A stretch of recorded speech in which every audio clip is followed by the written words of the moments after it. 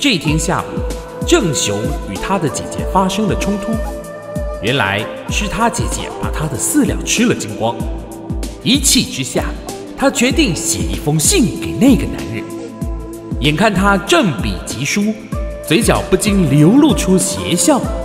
然而，郑雄所不知道的是，这封信究竟将为自己带来什么样的命运呢？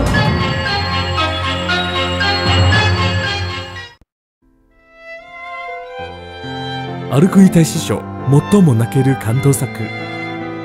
ここは人々の悩み相談を受けていた海遊ホリシャリーさんいつもお世話になりました。実は私は童貞を卒業する方法が知りたいんです。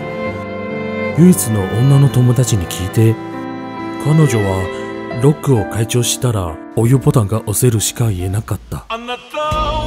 こんな問題はどう考えても B さんは一番です。頼む。答えを教えてください。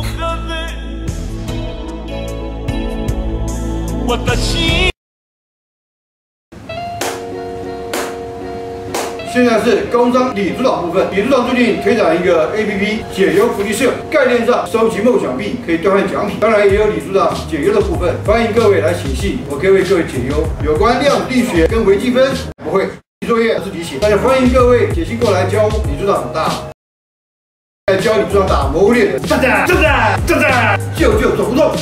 叔叔阿姨们还不快写信给男神？话说你组长是痛粉欧赞赞。你就随便留言或分享，看我会不会抽我跟李组长的合照明信片啊！现在是工商李组长时间，不过有关微积分、分子量、量学、量子力学。